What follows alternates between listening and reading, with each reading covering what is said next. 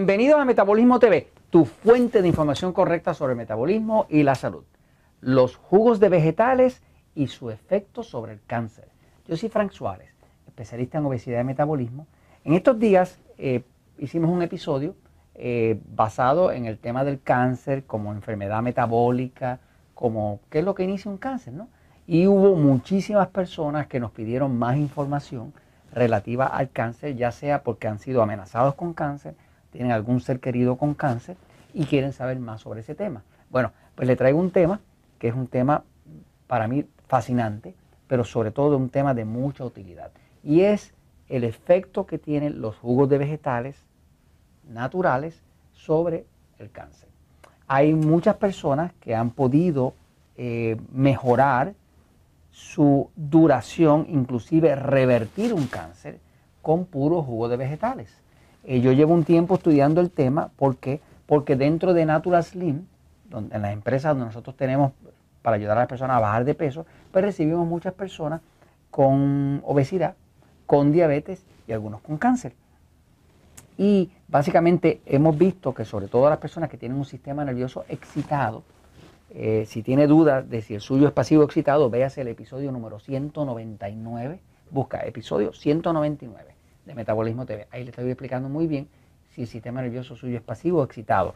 En el libro El Poder del Metabolismo eh, se explica hacia el final, hay un capítulo que se llama Todos no somos iguales, donde se le explica a usted cómo usted saber si tiene un sistema nervioso excitado o pasivo su cuerpo.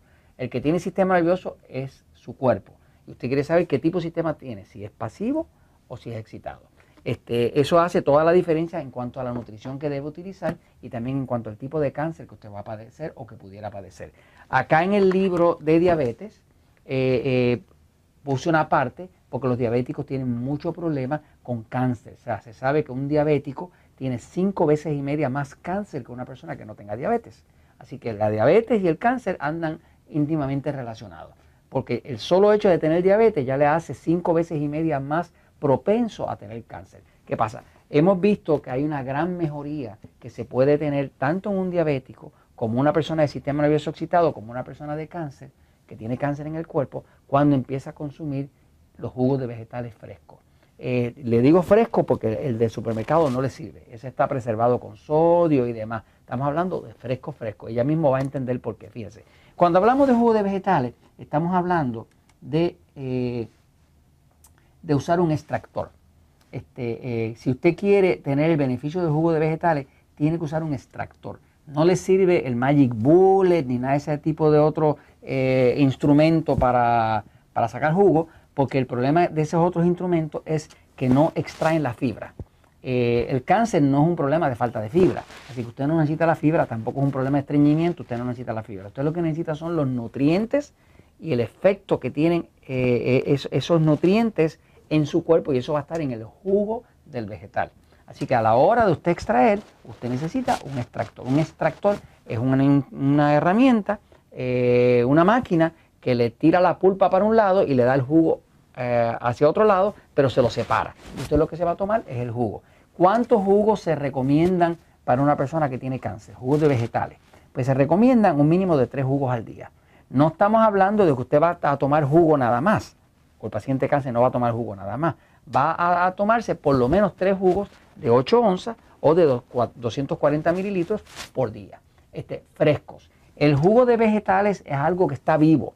Como está vivo, cuando usted lo exprime, tiene que si lo va a guardar para usarlo por la noche, tiene que taparlo, porque se empieza a oxidar, se empieza a dañar hasta con el aire que hay dentro de la nevera o en el medio ambiente. Por lo tanto, es algo que es fresquecito, está vivo, pero tiene que taparlo para que lo proteja. ¿Qué pasa? Hay una información que puse aquí en el libro de diabetes, donde le estoy dando una recomendación a los diabéticos de que pueden utilizar los jugos de vegetales para alcalinizar el cuerpo, para sacar los ácidos, inclusive para controlar su glucosa. Eh, acá le voy a leer una lista de cuáles son los vegetales más recomendables. Fíjese que estoy hablando de jugos de vegetales, no de fruta. Estoy hablando de vegetales. El problema con la fruta es que la fruta puede ser muy buena, pero es demasiado alto en fructosa. Y a la hora de usted combatir un cáncer, usted tiene que tratar de reducir los carbohidratos, incluyendo la fructosa y la glucosa, porque el cáncer lo que come es glucosa. Las células cancerosas comen glucosa siete veces más rápido que las células normales. Son grandes comelones de glucosa. De hecho, la forma en que se localiza un cáncer en el cuerpo es que le dan glucosa radioactiva. Y como el cáncer se la come más rápido, ese área del cuerpo donde está el tumor se ilumina. Así que a la hora de usted combatir un cáncer, lo primero que tiene que hacer es que tiene que reducir los carbohidratos refinados y empezar a usar más vegetales, ensaladas, eh, carnes blancas, cositas suaves, pero que no, sean, eh, que no sean altas en carbohidratos, porque el carbohidrato refinado, el pan, la harina, el arroz, el dulce, el maíz, todo ese tipo de cosas es lo que más alimenta un cáncer. Y si le echa comida al enemigo, pues entonces el enemigo se lo va a comer a usted vivo. Entonces, fíjense, por acá estoy explicando en el libro de diabetes, hay un capítulo donde estoy explicando el, potasio y el magnesio y estoy explicando cuáles son los vegetales más recomendables. Cualquiera son buenos, pero estos son los que más se usan. Usted puede hacer combinaciones de zanahoria, pepinillos o, pepino, como le llaman en México, eh, brócoli o brécol, este, las habichuelas, nosotros decimos habichuelas, eh, pero son los frijoles eh, verdes, ¿no? frijoles tiernos, habichuelas tiernas le llaman en Puerto Rico, ¿no? este, celery, en eso es inglés, en realidad se llama apio, eh, los rábanos, la lechuga, lechuga romana, cualquier lechuga, cualquier hoja verde, eh, la espinaca, el repollo, eh, puede ser el berro, puede ser, se usa cilantro, se usa cilantro o hojitas verdes, perejil. Y una cosa buena cuando usted prepara su jugo de vegetales es que le eche un poquitito de jengibre, pero un dedito, porque el jengibre es bien fuerte, pero el jengibre ayuda mucho a la circulación y tiene varios estudios clínicos que demuestran que es muy beneficioso para mejorar el metabolismo. Así que básicamente eso o cualquier otro eh, verde que usted encuentre en el supermercado, que a usted le guste, hojas verdes o lo que sea, métaselo. Ahora, el truco para que ese jugo de vegetales le quede bien y le sea eh, tomable es que usted le eche algo de cítrico. La mejor forma es echarle un poquito de limón, de lima. Este, medio limón, media lima le, cambia el sabor total y se lo hace sabroso. Hay quien le echa una manzana verde, me sigue, que también la puede sal porque la manzana verde resulta ser la más baja en fructosa de todas, ¿no?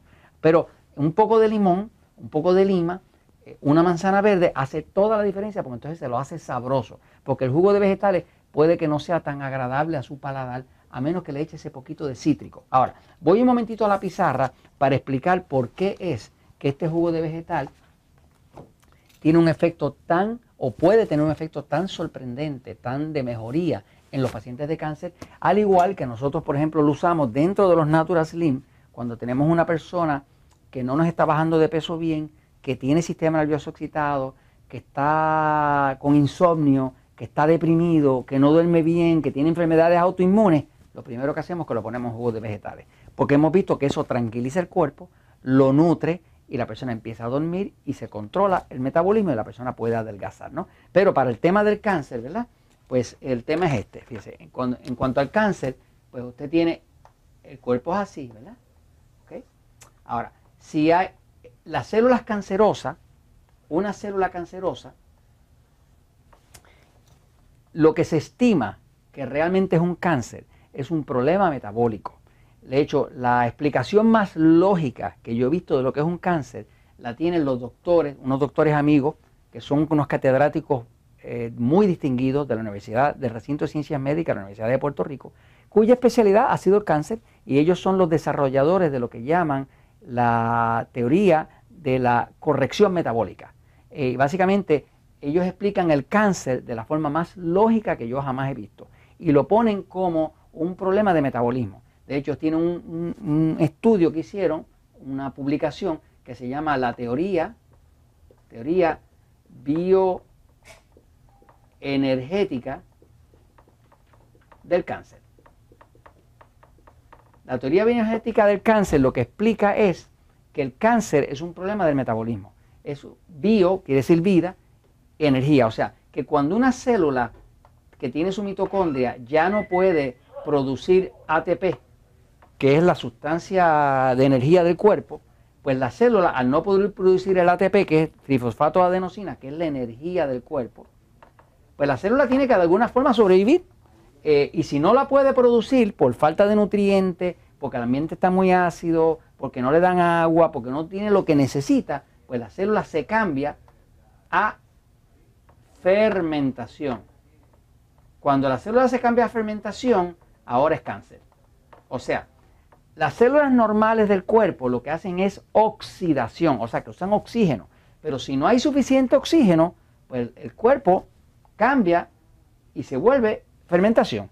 Que la fermentación ocurre sin oxígeno. La característica principal del cáncer ¿no? es que ocurre sin oxígeno. Para que haya cáncer, usted lo único que tiene que hacer es eliminar el oxígeno. Hubo un ganador del premio Nobel, el doctor Otto Warhol, de allá del 1939, que ganó su premio Nobel, simplemente porque lograba producir eh, eh, células cancerosas quitando el oxígeno. O sea, te coge células normales, le quita el oxígeno y lo vuelve un cáncer. Ahora, ¿por qué funcionan los jugos? Pues los jugos funcionan principalmente porque el jugo tiene un montón de nutrientes vivos que activan el metabolismo y permiten que haya eh, oxidación. Y al haber oxidación va a haber energía. Al haber energía, paran el cáncer. O deja el, cuerpo, no lo fuerza a seguir creciendo un tumor. Ahora, eh, voy a hacer otro episodio después de este para explicarle un poquitito la magia de lo que está pasando dentro del vegetal, para que usted lo pueda entender. Hasta ahora, esto se los comento porque la verdad siempre triunfa.